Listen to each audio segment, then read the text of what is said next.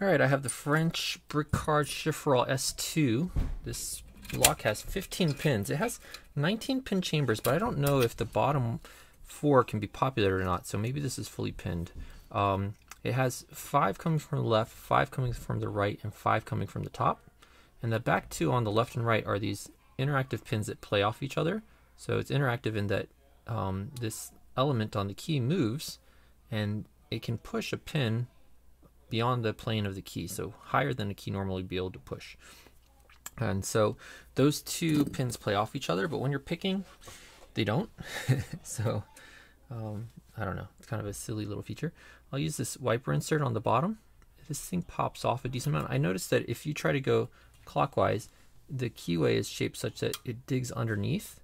Um, and that's going to really bind up against the, the housing there, or against the, the core of the lock. Um, I don't know if you can see that, but if you go like that, it, it, it goes under the, the lock. You see how that little bit of warding sticking out? So if you go here, it goes under.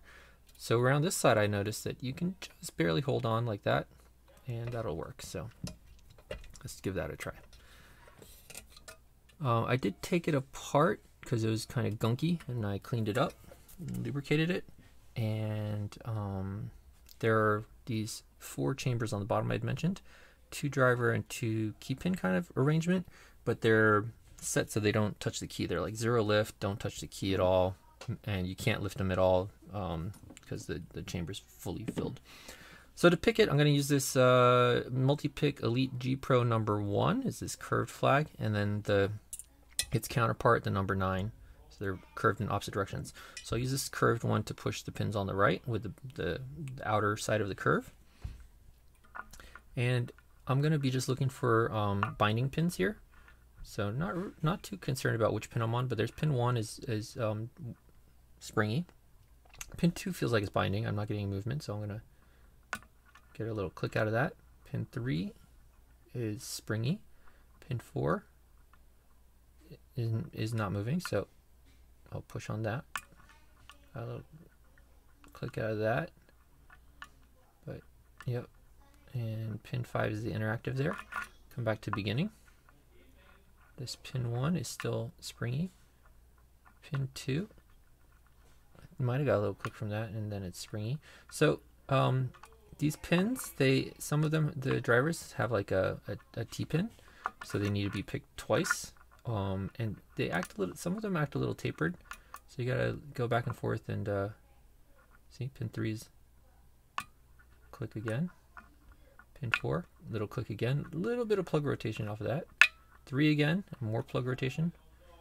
Four is jiggly, three is jiggly, two. Wait, hold on. One is jiggly, two is jiggly, three is jiggly, is jiggly, and five. So everything's jiggling on the left, so let's go after the right. We'll go to the other direction flag. Uh, pin one on the left, uh, I don't know if it was binding a little bit. Now it's moving, moving freely. Two, jiggly, three, jiggly, four. Seems like it's binding, it's not moving. Push on four. All right, got some plug movement when I set four. Pin five is the other interactive. Seems to be a little bit of spring that I can feel there. Let's go back to beginning again. Pin one uh, jiggle, two jiggle, three jiggle, back on four again. Hard to find. When it's when it's high up, when the pin is already high up, it's a little bit hard to find. I'm gonna go back to the right again now since everything on the left seems jiggly. One is jiggly. Two feels like it's binding. I think if I'm not touching top. All right, got a little click there and a, a, little bit plug rotation when I when I touch that. Let's see, pin one, no. Pin two. Pin two still seems like it's binding though. On the right here. Alright, pushed it a little more. And now I think it's jiggling. Three, jiggling. Four, very little bit. and five is that weird interactive is fine. One, two, three. Let's check the left one more time. Before we go after the top, I want all these to be jiggly. One is fine, uh, jiggly. Two jiggly. Three jiggly. Four is jiggly. And five. All right, so let's go after the top. Got this Jimmy Long's deep hook here. Uh, I can't really see into the keyway, which is, I like to be able to see the top pins when I'm working them, but I'll have to do it purely by feel, which may or may not be an issue. So the first one, I don't think I, I don't think there's too much risk of oversetting the top ones. So we can kind of just push on them as we go, a little, a little bit of force as we seek for the, I got a little click out of one of them on the top there. Don't know which one it was, doesn't really matter, you just want to get clicks, that was just me slipping off the pin. So I think that's, I think there's five up here. One, two, three,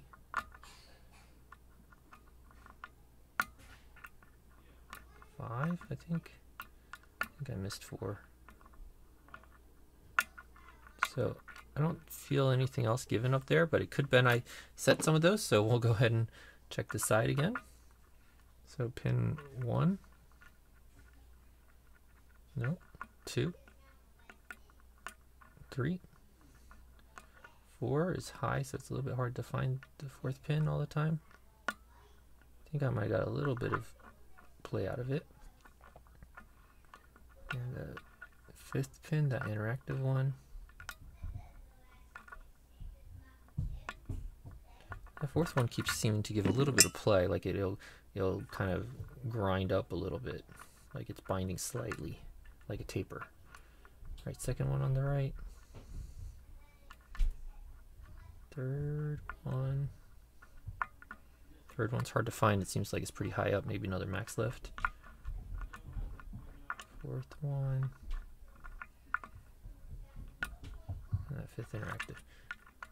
Check it again. One. Yeah, this lock's a little older, so it does have some crunch, like a few areas that are kind of crunchy that it's hard to gauge the feedback from. I'm starting to lose the tension. It's starting to slip. Um, and I might have to reseat that tensioner.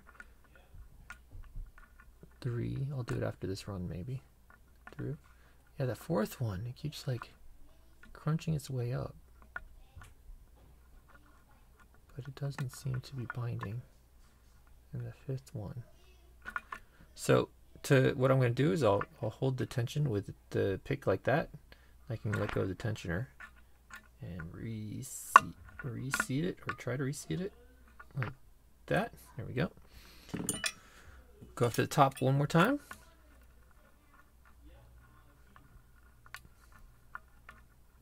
Got a weird pick hold here because I can't see. I have to use more feel.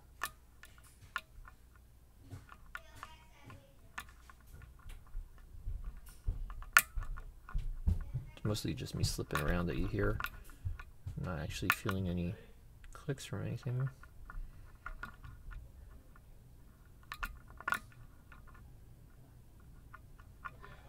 Uh, just being quiet as I, I feel my way along the top. I don't seem to be feeling anything of interest. Oh, I'm losing my tension again. A lot of times when I go with the top, I'm pushing on the bottom tensioner, and that'll cause me to lose my tension on the top. Uh, tensioner position. Gets pushed down on, and it loses how it's in there. It's kind of tenuous how it's in there. It's and I think it's starting to wear the keyway a little bit, even this with this little bit uh, this little bit of picking. So it's not staying in there right.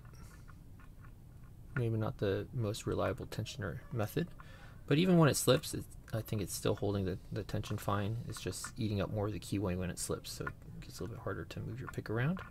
So I like to get it back down to the bottom. All right, not feeling anything there. Let's try this right side. Pin one is jiggly. Pin two, jiggly. Three's hard to find, I think. I feel like this right side's all picked. It's got to be the left side and the top that's our issue. One, two, three. Alright, got that click from that fourth one again. The fourth one keeps binding, but I don't know what what it's binding like. So that if it's taper, what's the other one that's got to be worked up, right? So you, taper basically you you generally have to work two of them upward. But I don't know where my second one is. Might be one of the ones on the right.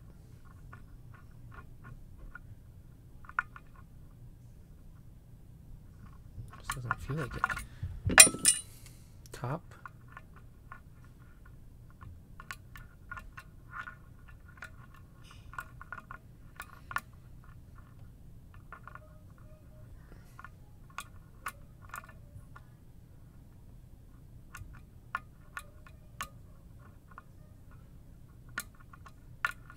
Don't think I'm even on the top pins very well. The tensioner is blocking a lot of the keyway right now. I guess I didn't get it in a very good position when I reset it or repositioned it. Because I can't get to the back. So we'll go ahead and reposition it one more time.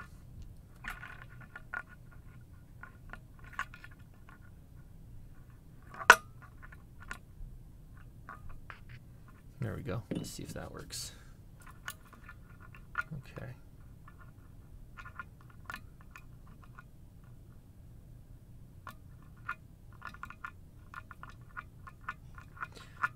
Yeah, I'm not really feeling anything on the top. It's kind of seems like blind luck on the top right now. Usually, like like I said, if I could see into the keyway, and I'd be looking for looking to make sure that my pick is going straight down the middle and touching the, the pins up, up up top rather than like going to one side or the other.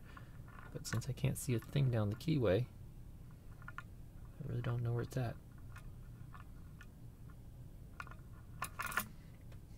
Yeah, I'm not sure about these top pins or not. Huh. All right. Ugh, and the the, the tensioner slipped again. But I'll just live with it for now. I think I have enough room. First one. Oh, oh. I might have an overset. These feel really loose. Oh wait, no. I just touched the the fourth pin on the left and it gave me a bit of a turn on the plug, which is a good sign. Let's check the right. It could be that that turn on the plug was all I needed to start checking the top. And because of where the tensioner is, I can barely get this right pick down. To feel the right hand side. Yeah, I think the right side's fine. I think it's now that I got a little bit plug turn off that left one, maybe it's time for the top finally. If I don't get this picked in the next minute or two, I'm not gonna have enough time for a gut because it is uh, a little bit more of an involved gutting process for this guy. I'm not feeling anything up top. Alright, this first pin, oh, this one I can feel a little bit plug movement. There we go. That first one I was feeling plug movement as I pushed, I was like, oh, I feel it. So, not the cleanest open, unfortunately, but it is an open. Um, and it was just mainly feeling around for the, the binders and pushing on them. So unfortunately not a whole lot of knowledge to impart there. But we'll go ahead and take a look inside. So to get this open, first we'll lock it up. There we go. That's locked again. Locked, unlocked. So you could take this off, and I was going to do that, and then I started pushing back, and um, there's this gap where this spring goes in, and it, the um, the drivers don't clear it, and there's not enough space. It's really tight tolerance, uh, not really enough space to fit uh, enough shims to allow that. I can't even fit one shim actually. So what we're going to do is we're to take this pin out of here, and to do that, um, we'll just pound on it. So this might get loud for a second. And that one doesn't get it all the way out. So I have this tensioner here. Gets it the rest of the way out. So there's that pin. Put that over here. Um, oh, I wanted to take this off actually. I don't know if I have the tools here to take that off. I might have to run it off, run upstairs after to grab some tools. But you can see now this is loose um, because that pin kept that from turning. And what you can do now is you can push this out and springs are going to start popping out. So let's go ahead and slide this out with my finger over top of it. Got have something to push. My finger over top and catch all those springs. Oh, there's one trying to escape. All right, now we're out. This is just a, see, it's just a round housing with a hole drilled here to hold the, the, the insides there. Okay, so there we go. So we did, oh, that, that springs. So here's the left side. So left side's gonna go here. Here's number four with the driver attached. Three, two, and one. Number five spring is short in there like that. So we'll see if we can get that five spring out. There he is. Short little spring for whatever reason. And that's the interactive spring. Um, up top, got five there, four, three, oh, three, two, and one. And then the right side here, hopefully won't drive, drop all kinds of drivers out of the left side. But there's number five, no spring, uh, no driver attached. Four has driver attached. Three, two, no driver attached, and one. So some of them don't have the driver attached. We'll get that in a minute. Um, I'm probably gonna have to get another tool. So what is that? Left side number one. Left side number one and two. So that Oh, that's okay. That first thing that fell out of the left side there, that's not a, that wasn't a driver pin. That's this, I'll show you this after. This is one of these pins that go, that I have to figure out. Um, all right, so that's number two. Pin three on the left. There we go. Four. Doesn't want to come out. Five, nope. Nothing wants to come out go to the top. That was number four. It's kind of a bit of a mess. Um, I would like to take that off and then we could get a lot of these things out from the plug side, but I don't really have the tool right now to take it out. All right, there's driver number two on the right. What else is going to come out? Anything?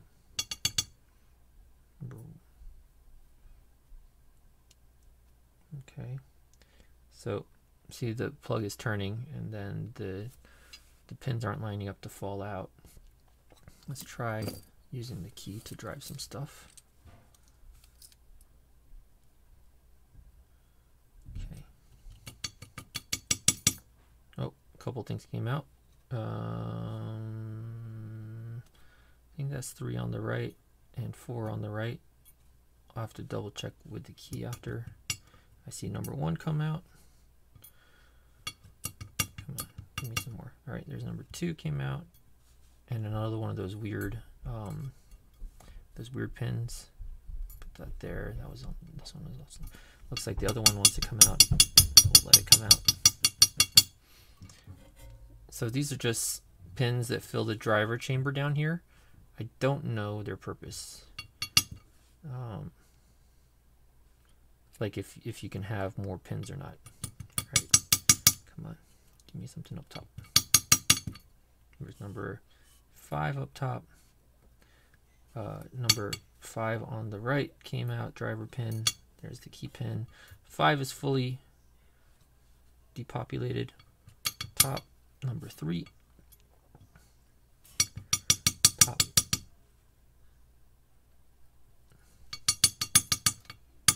Number one.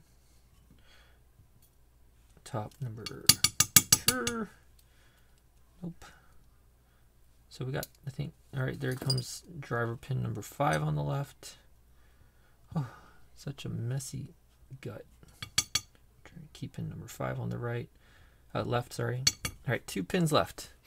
So for these, let's go ahead and bring out a pick. Bring out the big guns. Try to get the chamber lined up. Come on. Oh, I'm pushing on it there, I think.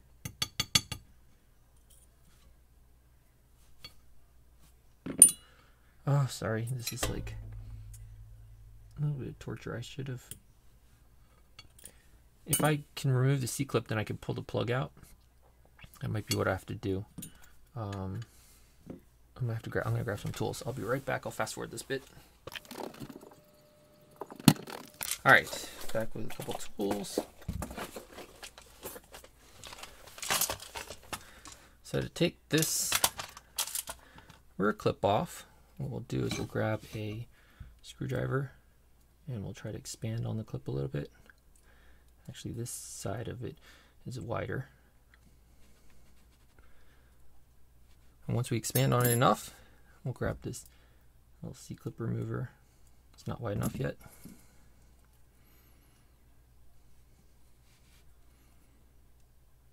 There. And we'll go in there like that and we'll expand it like that. Hopefully that's enough. To get this off. There we go. Now we can get the plug out. You see number two is left and number four on the left. So number four on the left here. And number two on the top. All right, so the plug has nothing special. Um, there's just these ledges for everything to sit down in. It does have these four pins in here. They do come out, um, not easily, but they do come out. So I'm thinking you could put either key control pins in there or you could put regular key pins in there. So it looks like a regular key pin like that. Right, so that's that bottom left one there. And it has a corresponding chamber in the in the cylinder there where you could put another um, another pin, right? But on the key, like what would that line up with? Um, it looks like you would you could maybe have some cuts right in the middle of the key here, down the center. Looks like it might line up with that. Uh, so I don't know if they have such a thing or not. Um, I'll be interested to, to hear. Let's look at what we got in here. This crazy lock. So, um, you'll have things like this. You got to be very careful. They have a, these key pins have a very thin lip on top, so you could easily, I could see easily oversetting that and then getting trapped on this side of it. Right, you drop into a uh, like a false set there, and you know you don't think you'd recover from that. Um, these are designed to do that. See, so this this this ledge here is to stop it from falling into the the keyway, but then this ledge up here allows you to overset it and drop into what's actually a groove here. There's a groove. So that's absolutely designed to be overset. And then the key pins a lot of them are like this, where they have that little key-pin step. If I can get it. And so that will step down. So the plug will rotate a little, step down into that, that step down area, and you'll have to pick it a second time. But there are other drivers like this that are just standards, right? But they're short. Uh, but a lot of them are those those T-pin types. See, um, a lot of standards, and uh, and the rest are T-pin type. Um, I'm trying to get this one here. This is one of those T-pin type little step down. So step uh, one, two, two on the right side, one, one on the left side only, and then three on four on the top, or like that. Yeah, alarm. But in any case, that is the Bricard Chifral S2. And if you know anything about these bottom four side pins, let me know. Thanks everyone. Bye.